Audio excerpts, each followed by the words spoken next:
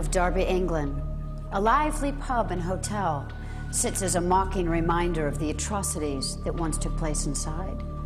Some people were tortured there, others murdered. Now some believe the old Bell Inn is teeming with spirits.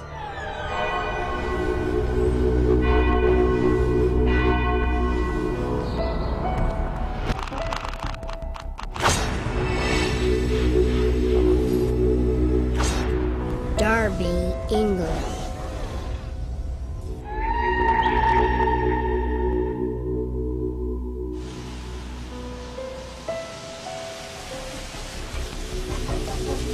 The Old Bell is the oldest hotel in Derby. It is also believed to be the most haunted. The ghosts come from the fact that there are so many tormented souls. So many unfortunate and innocent people that died here. The walls must be impregnated with, with the anguish, the terror, the pain, the fear that these people must have had. The first ghost that everyone talks about is a ghost called Hermintrude. She was a maid here, a very poorly paid maid, and she used to work in the servants and the cheapest quarters, which were in the attic rooms. But she was found um, uh, the following uh, following morning after a big gambling evening, uh, tied to a post uh, where she'd been sort of garroted, throat slit. Hotel staff believe the ghost of the murdered servant paid a visit one night. We had a group of uh, six, seven of the bar staff uh, sitting to one of the tables just here. And they were talking. One of the new members of staff said, Ghost, it's nonsense, they don't exist. She goes, look, I just don't believe, don't believe a word of it. And the second she said it, Then about 20, 25 glasses exploded on the bar.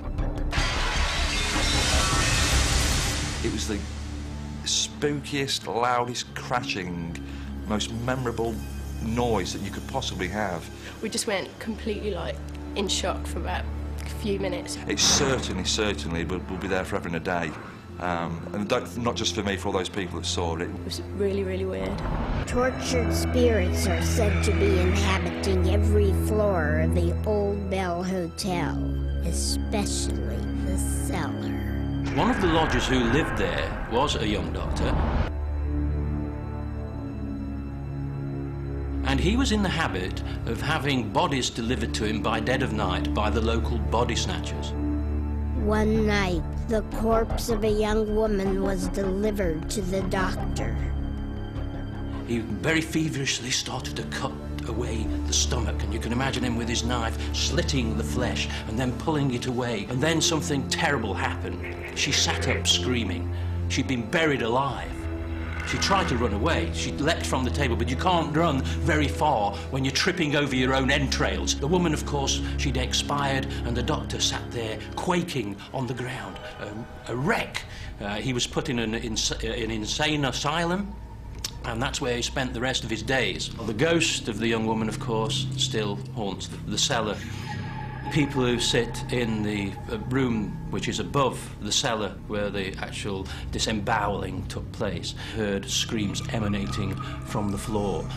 Really, really do not like coming down here by myself, yeah. I always get the impression that at times I'm being watched. If I come here by myself, I, I have a radio on full blast and that's it, yeah. I do not like it. People say they've got ghosts, I've, I've got an open mind about it, but since I've been coming down here and completely convinced now. yeah. The things I've seen is just incredible. I mean, the, the other week, walked up these stairs, head down just as you do, you can walk, walking, checking what's in front of you. And when I get to the top of the stairs, there's a young girl there sat there with her, her um, elbows under her chin, her hands under her chin, and just looking at me. I didn't feel anything, I was that bloody frightened. I just run past her, you know. I must have run through her, you know what I mean? And I just, I, you know, it was just incredible. They say a ghost won't hurt you, but when you see one, it might not hurt you, but when you see one uh, for the first time, It bloody terrifies you, I'll tell you. It terrified me. Some believe the hotel stables are inhabited by still another anguished spirit. Because they're starting to do some renovations. Just asked to clear out a bit of the rubbish that was upstairs. And whilst I was up there clearing, I heard like a howling sound.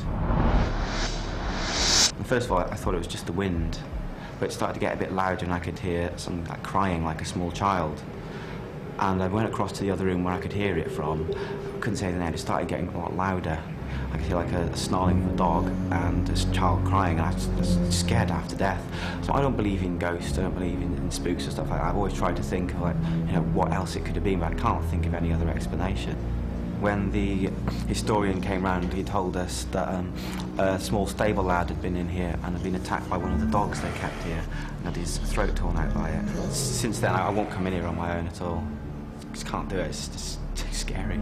Some believe the old bell's most infamous guest arrived on a winter night in 1587. Mary Queen of Scots spent a night in Derby. Her last.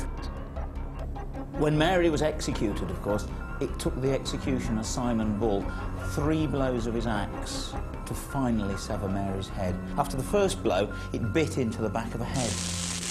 She turned towards him, uttering the words, Sweet Jesus. And he told her to put her head back onto the block, and the third blow was struck. Still, it wasn't severed. He had to take his knife and cut the last sinews of Mary's neck holding up the head in front of the crowd. And the final indignation was that she was wearing a red wig, and the head dropped out of the wig and bounced across the scaffold floor. Some say Mary's spirit is still seen at the Old Bell Hotel. We think she's still here. She's been seen by several people as a ghost just floating across the floor. On occasions, she's seen in this particular room where I'm sitting now. And people say, and they say to me, there's no ghost. Well, I can tell you that. I can tell you this, there is ghost.